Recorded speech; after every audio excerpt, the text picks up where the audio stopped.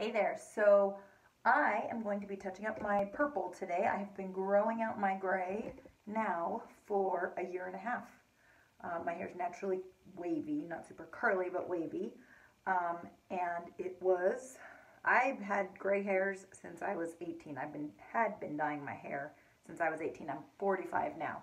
Uh, and a year and a half ago, I decided that I was sick of dyeing my hair. It came down to every three weeks I had to cover my roots and I was just sick of it. It took up too much time, it took up too much money. I did it myself from home. I would go to the salon. I have a few friends who own salons, so I would go to them uh, about twice a year to get highlights and to get all over color.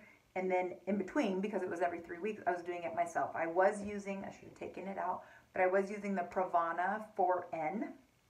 Um, they That's what they would use, and so I would buy that Initially, I would buy that from them at their cost, and then I started ordering it on Amazon because it became available on Amazon, and that was just easier. Um, so that's what I did for like ever, um, but I got sick of it. So, per, um, I was gonna say purple is in, purple is in, but silver, like everyone was dyeing their hair silver and gray. I mean, I just want to show you not only my crazy hair, but how much has grown out. Um, and you can go back to my other YouTube videos in the back. It's still a little dark, which is kind of interesting to me because it's so white up front. It's not completely white up front, and I'm actually kind of doing this just so I can see what it looks like in the back because I never see it in the back. Um, and you can go back to my other YouTube video to see like the one year how it grew out.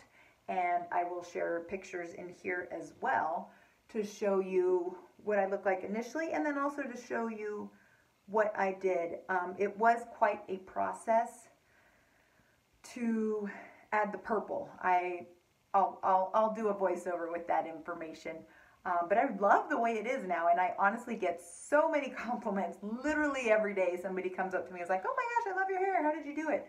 And now I'm like, my husband's like, "Why don't you just post a video and share that with people, and like get that printed on a business card or something?" Because I seriously get so many questions about it. So um, I will walk you through that journey and then show you how I dye my hair now.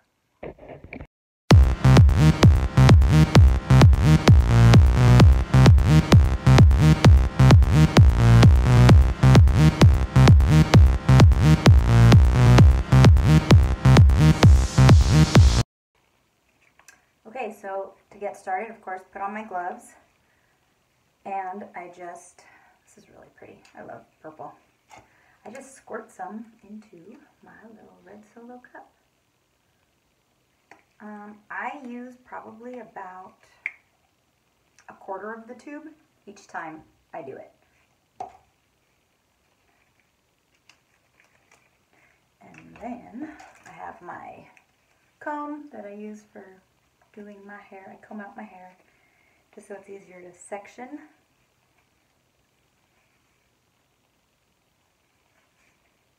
And I just start on one side.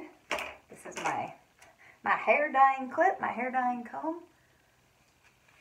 I put on my hair dyeing glasses so I can see what I'm doing because I am nearsighted. Although usually on this side I don't put them on. Oh, they're pretty grown out now. I don't need it right there. Of course, there will be a glare now. I mean, that's all that's left to grow out. So I really just do it on the ends. I dip my brush, oh, I don't even know what it's called. This is all, this is how much I put on there. And then I want it darker at the ends. I want kind of a ombre look. So I do it dark on the ends and then I just grab it and kind of work it through. Whatever's left on the brush, I will kind of just work my way up. That's it. Um, it's pretty exciting.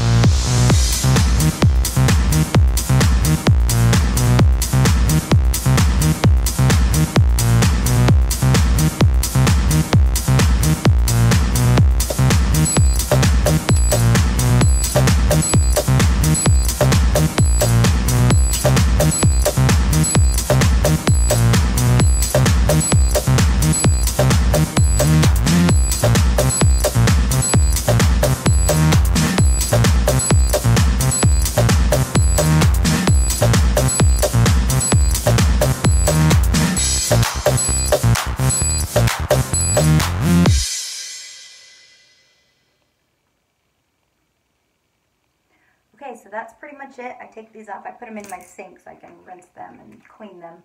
Of course, I did get some on my neck. I will go through and just comb the ends. I don't want to go up too high because I don't want to get purple up here. Because again, I am going for that ombre or grombre look. Um, and I'm sure some hairdressers will totally cringe at my methods. But I'm all for saving money and getting stuff done quickly at home, if at all possible. Um, and honestly, if I didn't get so many compliments on this, I probably would be like, okay, somebody needs to fix this for me. But I literally get so many compliments on this from complete strangers, men and women, um, every day, literally. So I think it looks pretty. Other people must think it looks pretty too. So that's it. I do lose a lot of hair because I just lose a lot of hair anyway whenever I comb it. Um, so I will just let this sit for about half an hour, so usually actually more like 40 minutes. Um, and then I just put it in a thing, in a ponytail. Just put it up so it's not touching my neck so I don't get too much purple on my neck. And then set my timer and then get in the shower and rinse it.